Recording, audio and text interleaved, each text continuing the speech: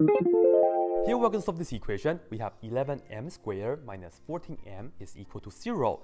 As we can see, we have the square right here, right? m squared. Whenever we have m to the second power or even higher power, we should do this by factoring. Especially you see the m twice. So by looking at this right here, we have the m squared here and the m here, right? We can first factor out an m. So let's put that down right here. And this is 11, this is 14, just a number, not a sign, okay? Unfortunately, we don't have a common factor for these two numbers except for 1, but you don't need to take out 1. So I'm just going to factor out the m and then open the parentheses for the remaining part right here. The first part right here, originally it was 11m squared.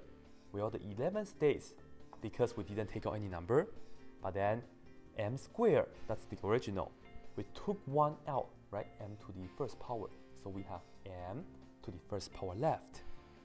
And then for the second part here, bring down the minus, the 14 also stays, but this m we factored it out already. So this is what we have. And be sure you remember this is an equation equals to 0.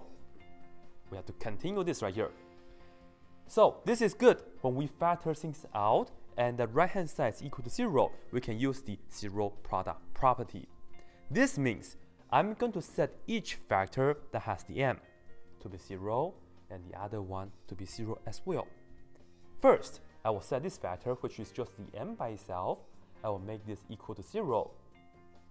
And in fact, I'm done because this is one of the solutions.